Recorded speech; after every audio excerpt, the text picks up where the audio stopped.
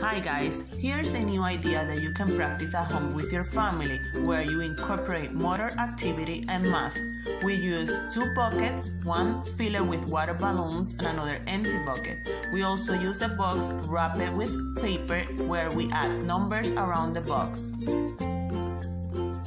We throw the box and the numbers that comes up is the amount of balloons the person is going to throw. The other person on the other side will catch the balloons. You can also use balls for this activity.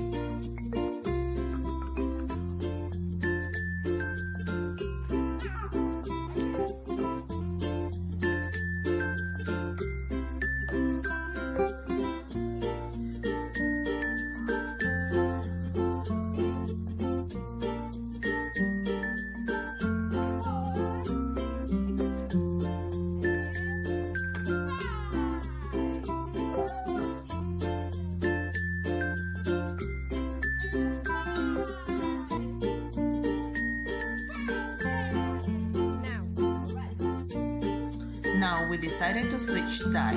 I throw the box. The number that came up is number three. I will throw three water balloons and my friend is gonna catch the balloons.